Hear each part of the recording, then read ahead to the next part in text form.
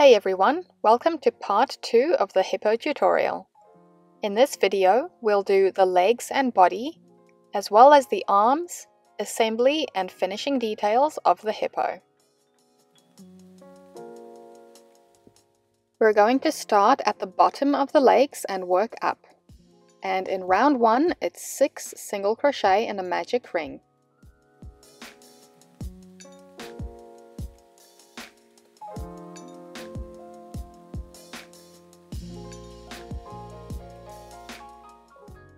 Pull the ring tight. And as always, I'm using a stitch marker in the last stitch of each round. In round 2, we do 2 single crochet into each stitch from round 1. This means we're doing 6 increases, which brings us up to 12 stitches.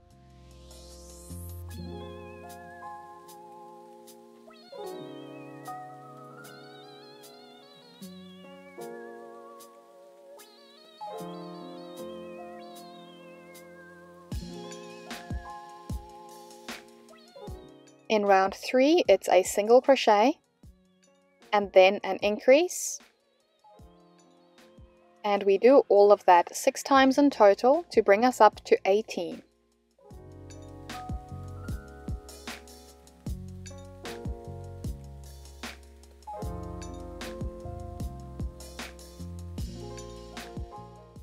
In round 4, we're working in the back loops only and we're just doing 18 single crochet around just through those back loops.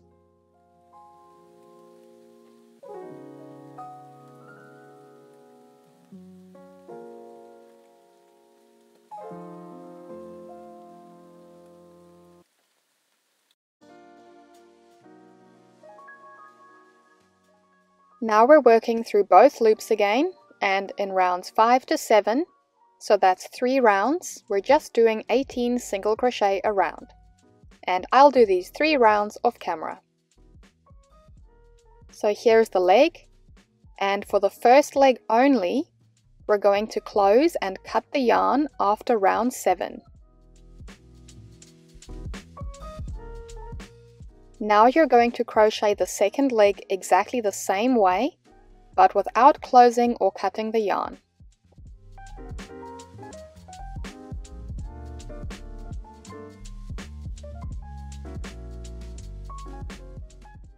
So here's the second leg. And we're going to join it to the first leg. And I like to join over here, which is the first stitch of the last round. And we're joining with one single crochet.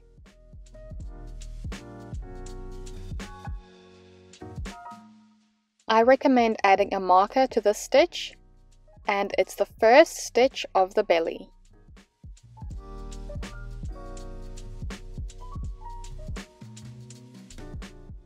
Now we've already done the first stitch of the belly and we're going to do another 17 single crochet onto that first leg.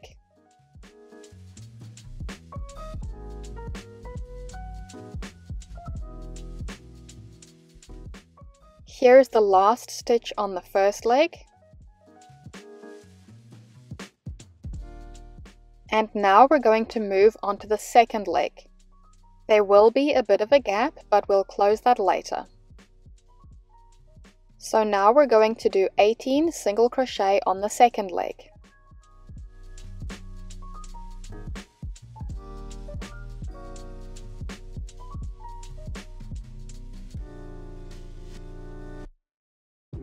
And here's the last stitch of the round, going into that last stitch of the second leg. This should be just before that stitch that we used to join the legs together. Round 2 is going to start in that stitch that we used to join the legs. And in round 2 we start with 5 single crochet.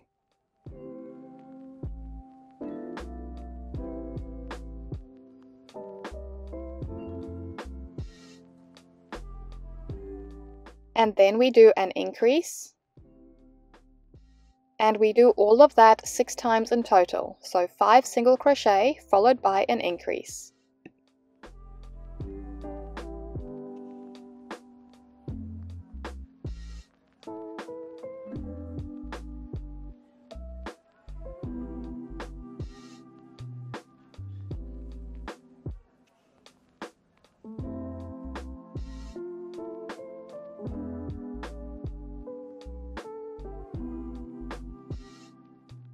Now using the tail left over from the end of the first leg, we're going to sew that hole closed.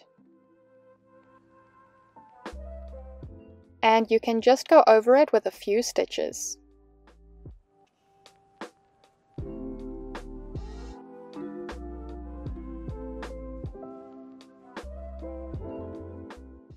Now I'll just secure that yarn tail with a few stitches.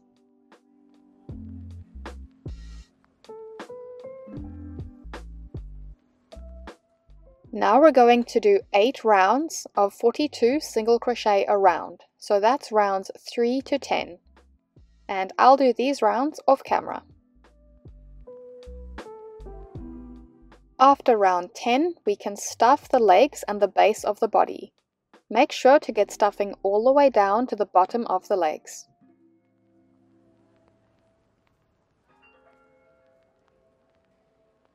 In round 11, we're going to start decreasing. So we start with 5 single crochet.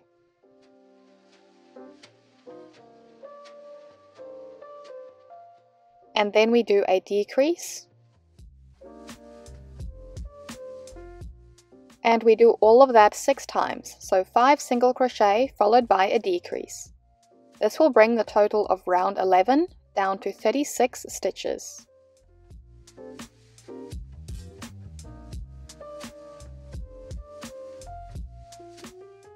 In round 12, we do 36 single crochet around, and I'll finish off this round off camera.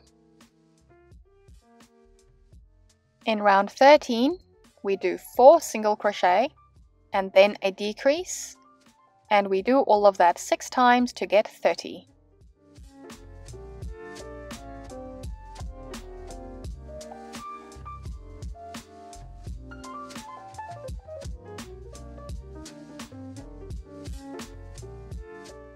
Round 14 is just 30 single crochet around and once again I'll do this round off camera.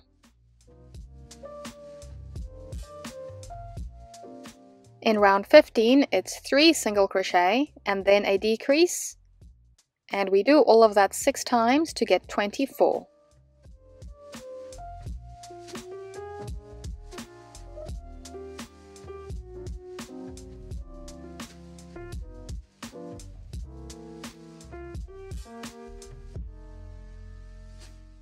Round 16 is 24 single crochet around.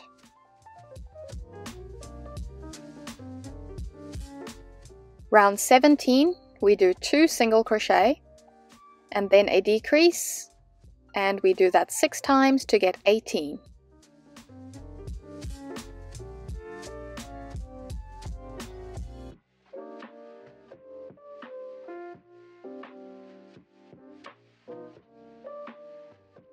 In round 18, it's just 18 single crochet around.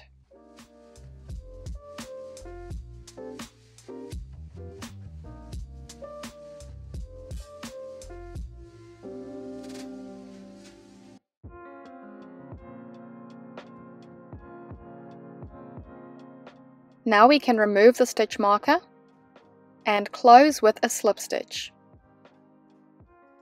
And cut the yarn leaving a long tail for sewing. Now we can finish stuffing the body. Make sure to stuff the neck quite firmly because it needs to support the head.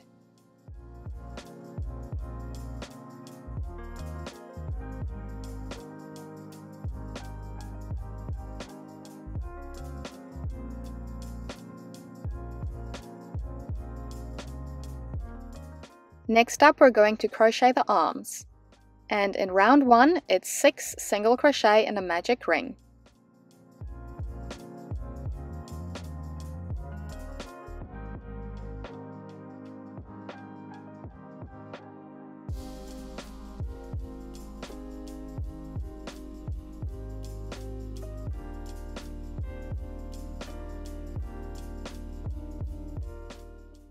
In round 2, it's 6 increases. That will bring us up to 12 stitches.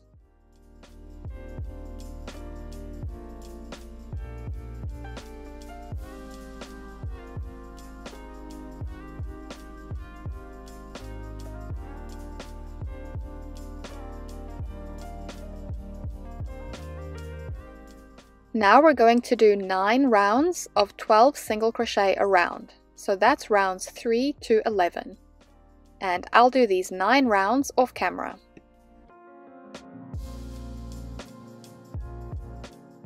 Now we can add stuffing to the arm, and I only like to put stuffing about halfway.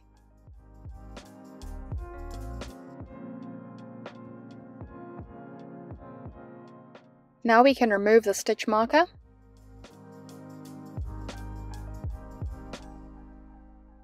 and fold the top of the arm flat and do single crochets across both sides to close.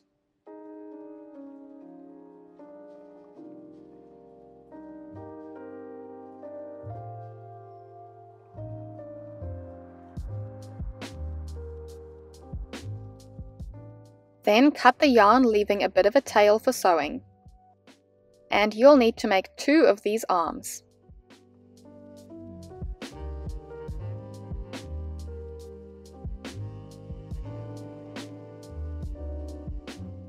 We're going to start the assembly by sewing the head onto the body. If you like, you can hold it in place with some pins.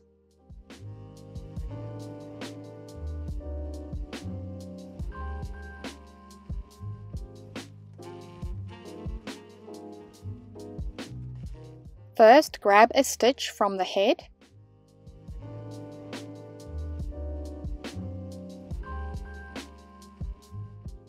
Go up into a stitch on the neck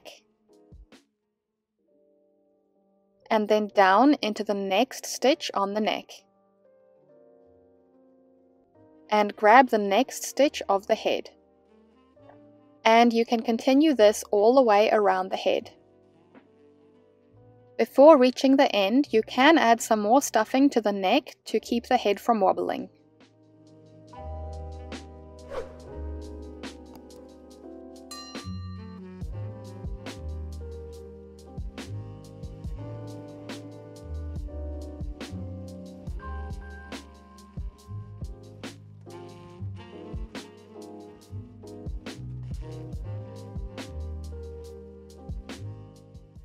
Once you've gone around the whole head, you can insert the yarn into the piece into a few different places to secure it.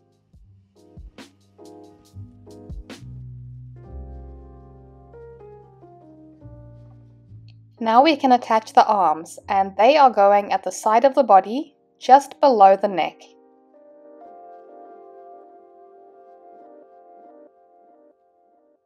First grab a stitch from the body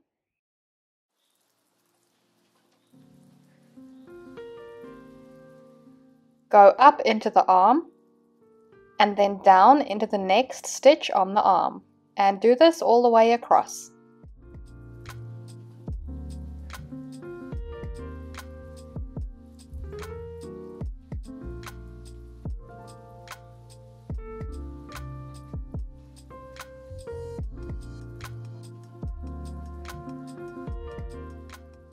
Once I reach the end of the arm, I like to bring the yarn through to the front and grab that first stitch again. You can bring the yarn back and forth under the arm as many times as you like. Then finally bring the yarn through to the back. Now you can sew on the second arm exactly the same way, just making sure it's symmetrical with the first.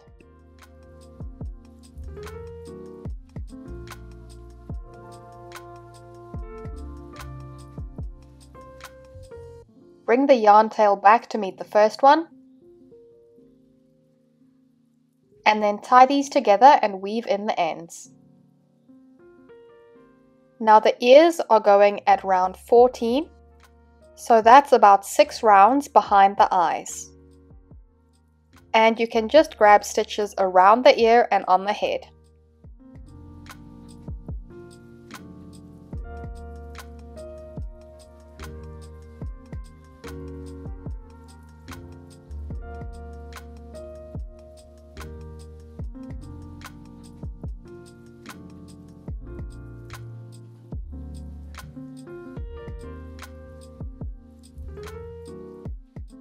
Once it's secure, you can bring the yarn tail through to the back. And then attach the second ear exactly the same, just making sure it's symmetrical with the first.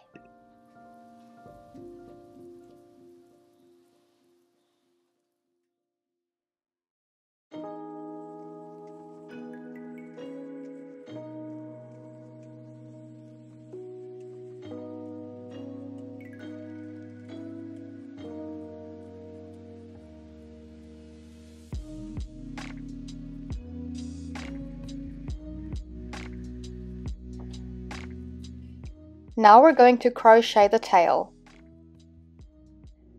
Insert the hook where you want the tail to go and then pull through a loop and chain 6.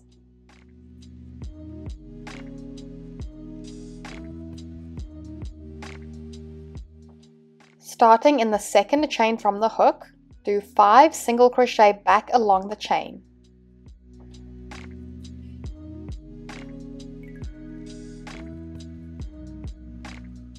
Then you can cut the yarn leaving a short tail. Tie these yarn tails together and then use a yarn needle to pull the knot into the piece.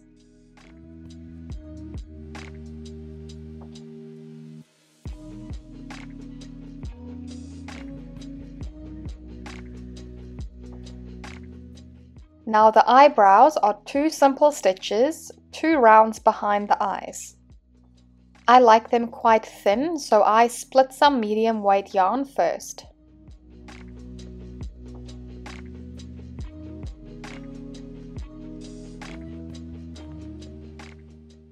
I like to place the nostrils slightly further apart than the eyes. You might have to try this a few times to get the placement that you want.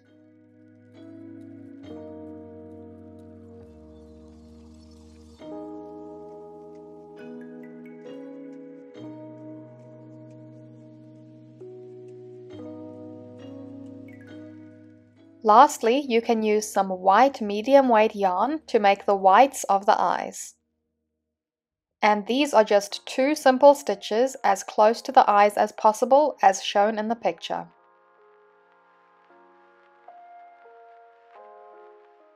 And that is your hippo completed.